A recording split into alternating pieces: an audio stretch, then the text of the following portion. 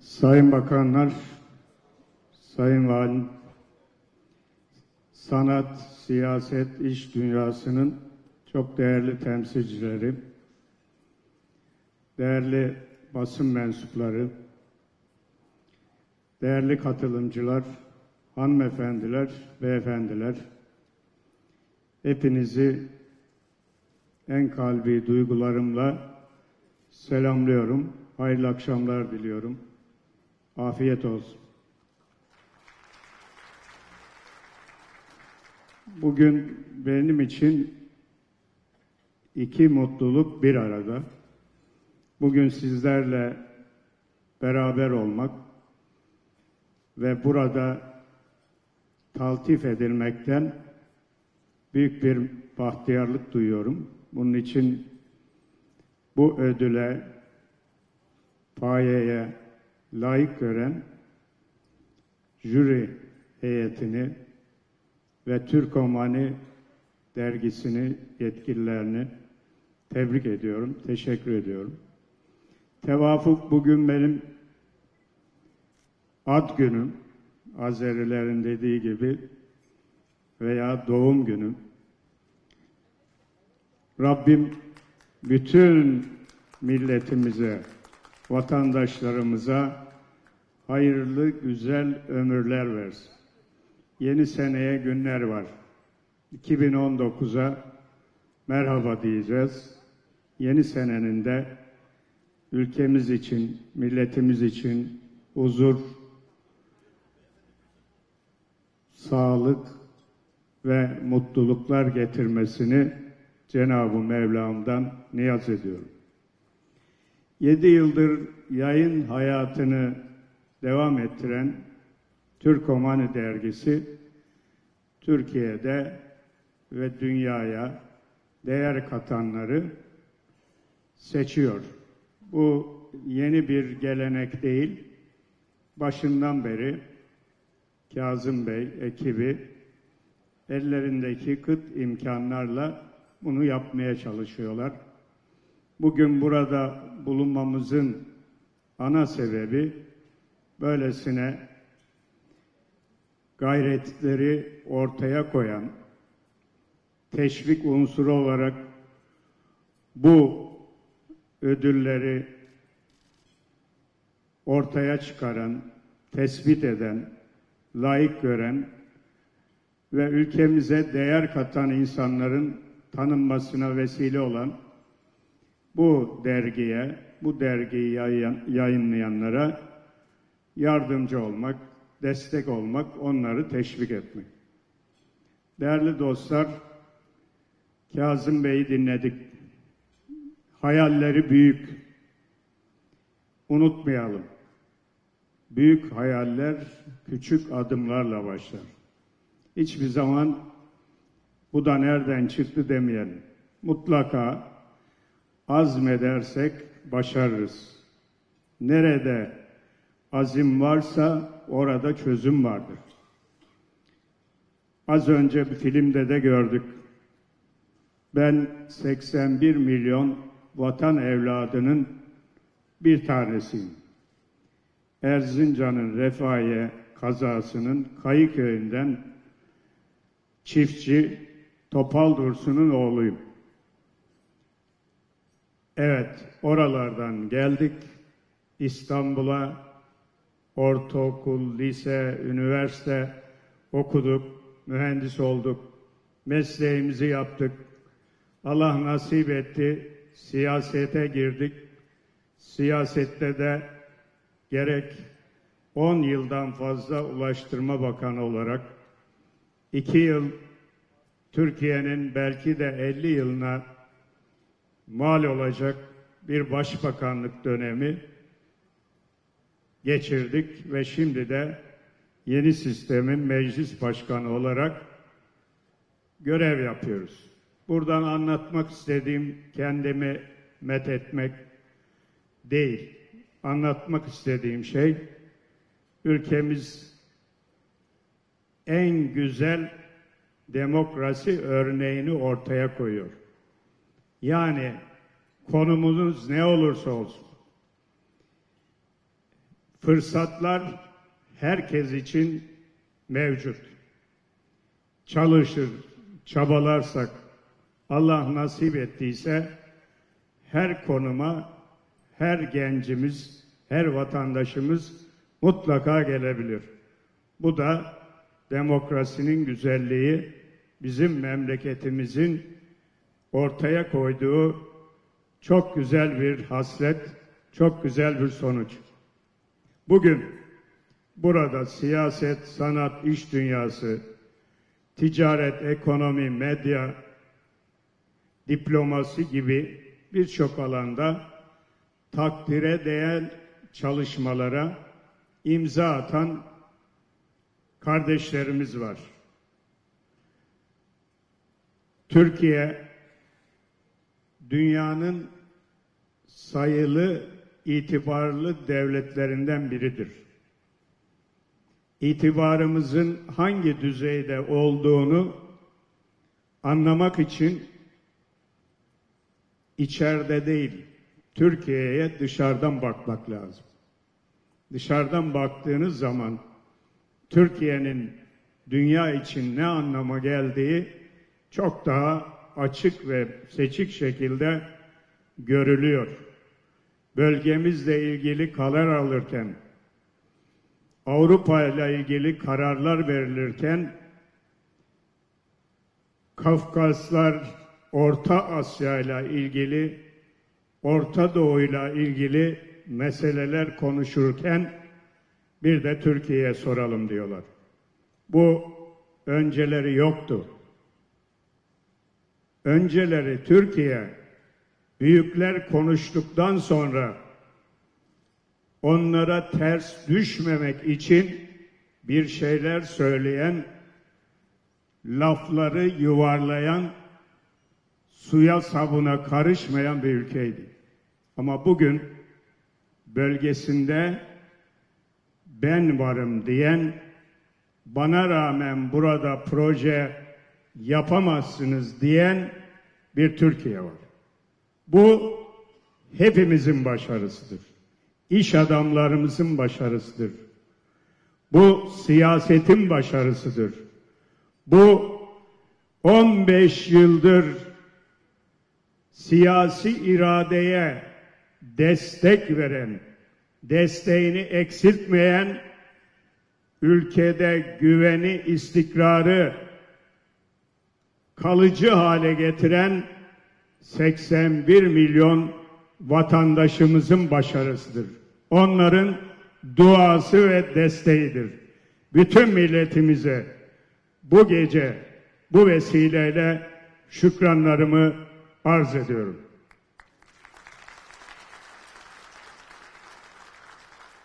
Değerli konuklar, Muallim Naci'nin güzel bir lafı var. Der ki, marifet iltifata tabidir. Alıcısı olmayan meta zayidir. Yani eğer alıcısı olmayan mal hiçbir işe yaramaz. Marifet de iltifatla anlam kazanır. İltifat, marifeti ortaya koyanın şevkini arttırır, heyecanını arttırır, yeni başarıları kapısını aralar. O bakımdan biz ne yazık ki gerçeği konuşmak gerekirse taltif etmede, takdir etmede cimri bir milletiz. Ama tahkir etmede, tenkit etmede çok cömertiz. O yüzden zaman zaman taltif edilmek insana hakikaten hoş geliyor. Bir hatıramı anlatmak istiyorum bu vesileyle. 29 Ekim 2013 Cumhuriyetimizin 90. yıl dönümü. Marmara'yı açıyoruz. Üsküdar'da tören yapıyoruz. Marmara'yı biliyorsunuz. 300 milyona yakın İstanbullu bugüne kadar kullandı. Eskiden Üsküdar'a giderken aldı da bir yağmur diyorduk. Şimdi artık Marmara'ya binince ne yağmur ne sel. 3-5 dakikada Üsküdar'dan Sirkeci'ye geçiveriyorsunuz. Tören bittikten sonra Cumhurbaşkanı Sayın Recep Tayyip Erdoğan beni o zaman başbakan beni kürsüye çağırdı. İşaret etti. Çıktım yanına durdum. Kolumu tuttu. Çekiyor, ben de geri çekiyorum. O çekiyor, ben çekiyorum. Dedim ya niye çekiyorsun kolumu? Dedi gel ya dedi kolunu kaldıracağım dedi. Teşekkür edeceğim dedi. Ben de dedim kusura bakma çok alışık değiliz bu kelimeyi duymaya. Ben dolayısıyla Cumhurbaşkanımız işleri takdir eder ancak sessiz bir şekilde. Takdirini çok nadiren ifade eder ama başbakanlığı teslim ettikten sonra 13 Temmuz'da kendisi sağ olsun bana devlet şeref madalyası e, vermeyi uygun gördü ve orada bütün takdirlerini, teşekkürlerini bir saat boyunca hayat hikayemi anlatarak ifade etti. Değerli dostlar, zaman zaman sıkıntılarımız olabilir. Ama şunu unutmayın. Türkiye büyük bir ülke, güçlü ekonomisi var, dinamik bir iş alemi var, özel sektörü var. Bizi benzer ülkelerden ayıran da budur. Dolayısıyla biz geçmişte olduğu gibi bugün de yaşadığımız sıkıntıları aşacak imkan ve kabiliyete sahibiz. Onun için hiç kimse moralini bozmasın. Önümüzde kış var, kışın sonu yazdır. Hiç endişeniz olmasın. Değerli kardeşlerim, Türkiye'nin bugün ekonomisiyle ilgili bir takım kafalarda soru işaretleri var. Ben şu kadarını size söylemek isterim. Bir ülke düşünün. Varlıkları var, borçları var. Yani ülke düşünmeye lüzum yok. Bir firma düşürseniz yine aynı şey. Nasıl ölçersiniz ekonominizin iyi kötü olduğunu? Varlıklarınız, yükümlülüklerinizi karşılamıyorsa o zaman sıkıntı var demektir. Ama Türkiye'nin varlıkları yükümlülüklerini kat kat karşılayacak düzeydedir. Bunun bilinmesi lazım. Peki sorun ne? Sorun vade uyuşmazlığıdır. Vade uyuşmazlığının da çözümü imkansız değil, mümkündür. Olay bundan ibarettir. Yaşanan budur. Olayı başka türlü zora sokmanın, moral bozmanın anlamı yok. Ben bir şey yok demiyorum. Bu sıkıntıların tedbirini almak da tabii ki ülkeyi yönetenlere düşüyor. Bunun da gereği yapılıyor. Bunu bilmenizi istiyorum. Türkiye'nin yükümlülükleri varlıklarının altındadır. Örnek mi istersiniz? Türkiye'nin özel sektör artı devletin borcu milli gelirinin yüzde 54'ü. Avrupa'daki ülkelerin sadece devlet borcu yüzde 70'in üzerinde, bazı ülkelerde yüzde 114, bazı ülkelerde yüzde Japonya gibi yüzde 230. Yani sadece devlet borcu bile Türkiye'den kat kat fazla olanlara ile ülkemizi kıyasladığımızda durumumuzun o kadar da zor olmadığına karar verebiliriz. Türkiye 2002 yılından beri gelişiyor, büyüyor. Milli gelirimizin nereden nereye geldiğini, ihracatımızın, toplam ticaretimizin nereden nereye geldiğini, firmalarımızın nereden nereye geldiğini siz benden iyi biliyorsunuz. Türk Hava Yolları diye bir şirketimiz var. Ben bakan olduğumda zarar ediyor. 55 tane uçağı var. 55 uçağı var. 60 noktaya uçuş yapıyor.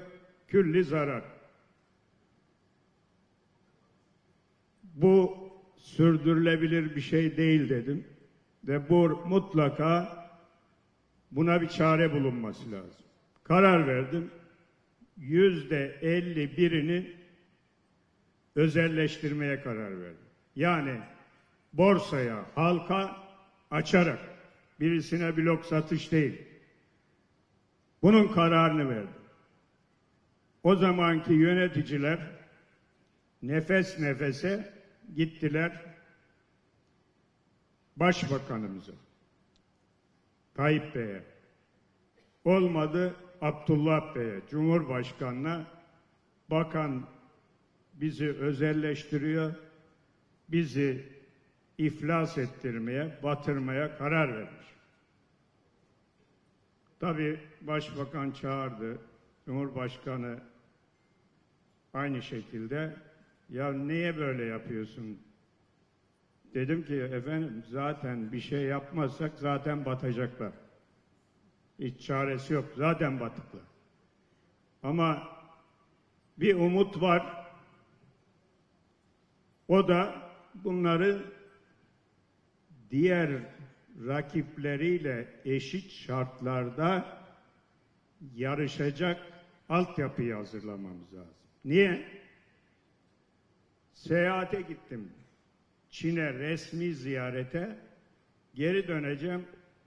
Uçak arızalandı efendim dediler. Peki o zaman tamir edin gidelim.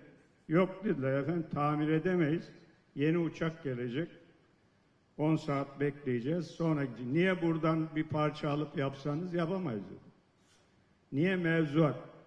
Genel müdürlüğe bildireceğiz. Genel müdürlük ihale açacak. Parçayı temin edecekler. Ne zaman parça gelirse gelecek burada takılacak. Ondan sonra uçağı alıp gideceğiz. Böyle bir işletmecilik olabilir mi? Böyle bir şirket ayakta kalabilir mi? Bu tecrübeler bize hiç zaman kaybetmeden buranın bir an önce devletin ağır mevzuatından, kısıtlamasından, sınırlamasından kurtarılması gerektiği sonucunu verdi. Ben eğer kısa vadeli, popülist düşünseydim, elimin altında bir oyuncak olarak görür, şuraya sefer koyun, buraya koymayın, şunu götürün, bunu getirin der, eski dönemlerde yapılanın aynısını yapar. Bunu yapmadı. Bana, benim bunun üzerinden bir fiyakam olmasın dedi. Bunlar nasıl çalışması gerekiyorsa uluslararası düzeyde rekabet şansına sahip olsun dedi. Ve bu kararı verdik. Şimdi neredeyiz? Şimdi Avrupa'da iki numarayız. Dünyada yedi numarayız. 340 noktaya uçuyoruz.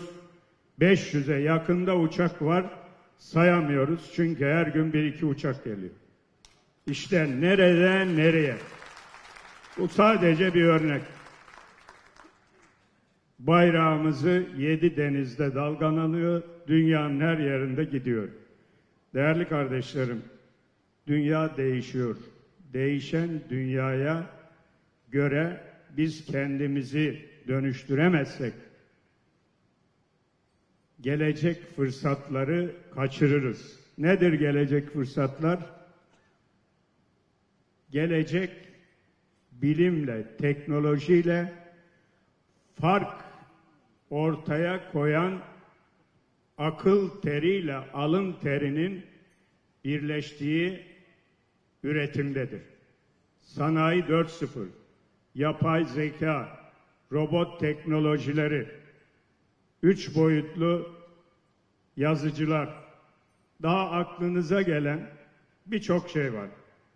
Yapılan araştırmalara göre gelecek 15 yılda bugün adını bildiğimiz mesleklerin yarısı yok olacak.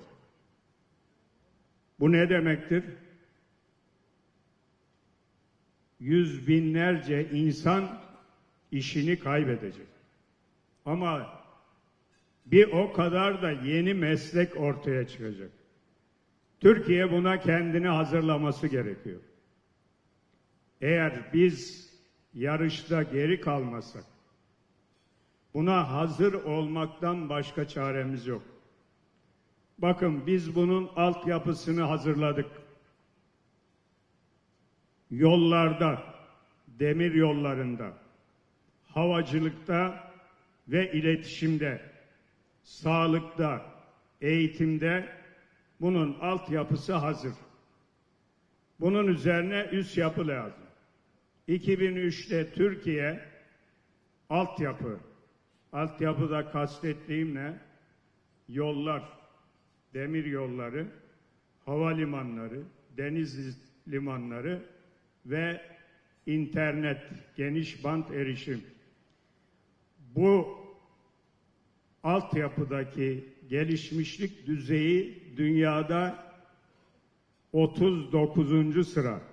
Yıl 2003. Geldik yıl 2017'ye. Aynı Türkiye kaç kaçıncı sıraya yükseldi biliyor musunuz? 9. sıraya yükseldi. 39'dan 9. sıraya. Biz ne yapmak istiyoruz? Biz de dünyanın 10 ülkesi arasına girmek istiyoruz. Demek ki altyapıda girmişiz. Üst yapıyı inşa etmenin şimdi zamanıdır. Bu süreyi iyi değerlendirdik. Elhamdülillah. Ülkemizin her köşesi erişilir, ulaşılır hale geldi. Dünya krizi var. 2008'den beri devam ediyor. Henüz bitmiş değil ufak ufak toparlıyor ama 2008 öncesinin düzeyine henüz gelmedi dünya. Büyüme oranı hala yüzde üçün altında seyrediyor.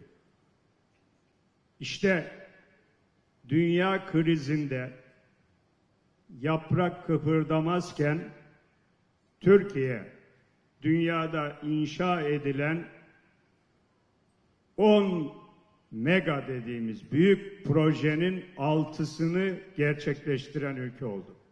2008'den bu tarafa. Nedir onlar? Yavuz Sultan Selim Köprüsü ve Kuzey Marmara Otoyolu. Osman Gazi Köprüsü, İzmir İstanbul Otoyolu. İstanbul İzmir Otoyolu tek başına 50 ülkenin yıllık milli gelirinden fazla. Üçüncü havalimanı aynı şekilde. 60 ülkenin milli gelirinden fazla Türkiye'nin 1950'deki milli gelirinden fazla bir projeden bahsediyorum. Devletin yaptığı bir proje değil. Özel sektörün yaptığı projeden bahsediyorum.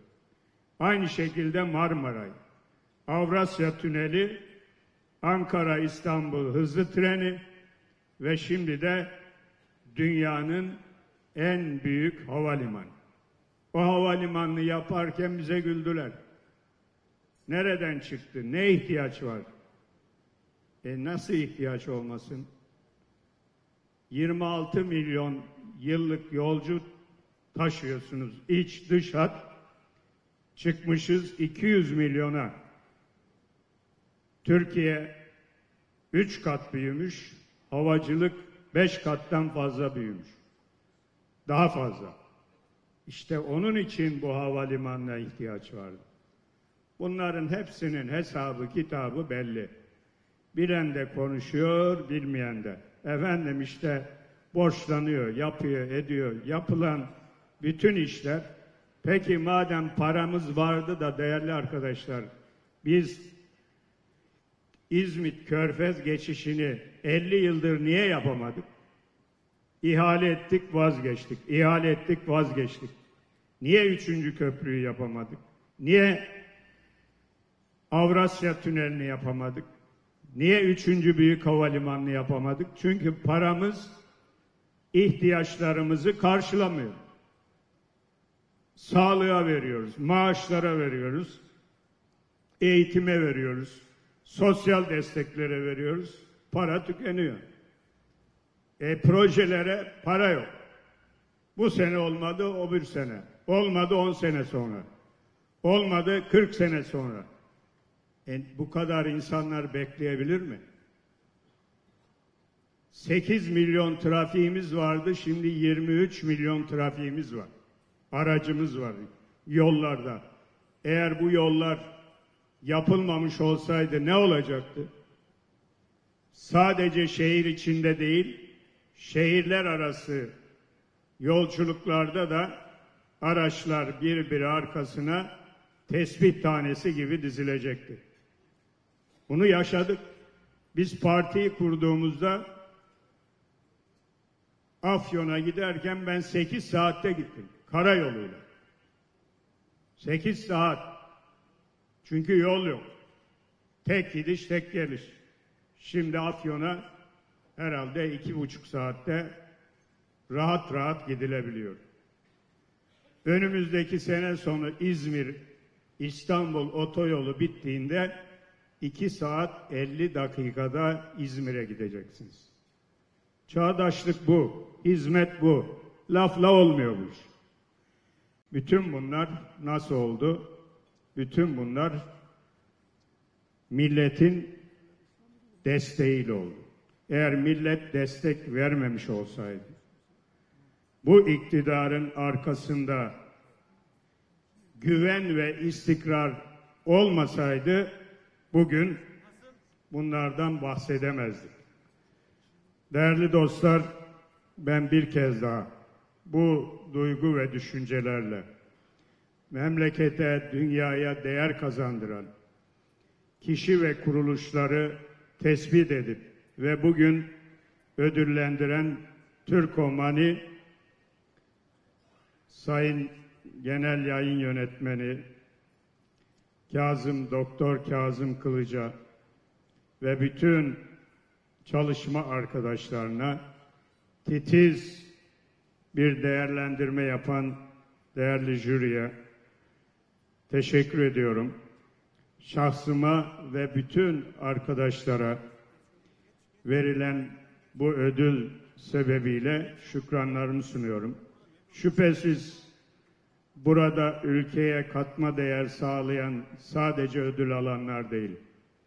Herkes bu bayrağın altında hür ve bağımsız yaşayan her Türk vatandaşı böyle bir ödüle her zaman layık.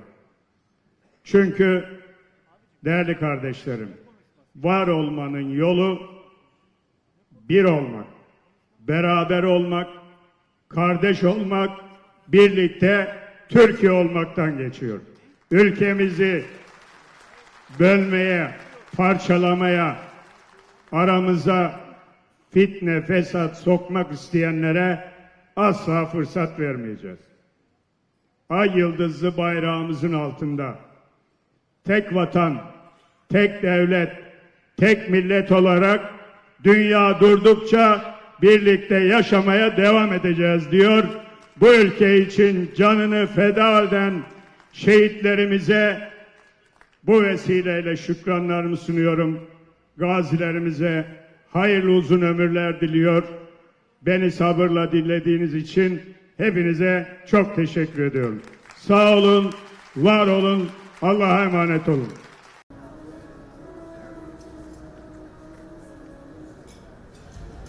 Büyük alkış rica ediyorum.